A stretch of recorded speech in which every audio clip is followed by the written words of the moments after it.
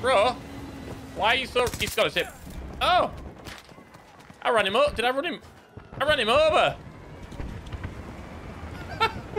oh, Mackay coming in like he's on an action movie or something.